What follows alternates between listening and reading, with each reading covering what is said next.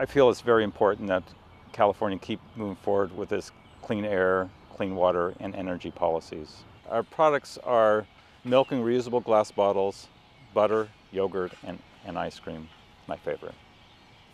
What I've tried to do is look at it, how we can be sustainable, how we can reuse all the resources, minimize our impact on the environment, keep our land and water quality uh, good, as well as being profitable. Uh, we have about 660 acres and about 290 milking cows.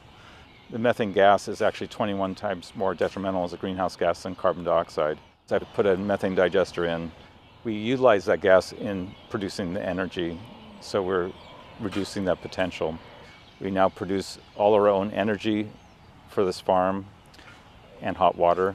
Uh, all-terrain vehicle that's electric. I have a a Uh, golf cart that's electric that we feed the cows with, and we're also putting together a fully electric truck to feed the cows with, so the cows would be powering the truck that feeds them. And now have the opportunity to be able to sell our excess energy to the grid, saving this farm about $40,000 a year in energy costs.